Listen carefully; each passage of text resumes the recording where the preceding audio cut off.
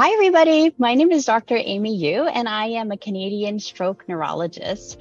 I wanted to welcome you and say that I'm looking forward to meeting you at the World Stroke Congress 2023 in my home city in Toronto, Canada. There's going to be tons of great sciences, um, great courses, awards, and also catching up with your colleagues from around the world. So I'll be speaking um, at a session on sex differences in stroke and specifically why are there differences in stroke outcomes between women and men. Um, I really hope to meet you there. See you in October 2023.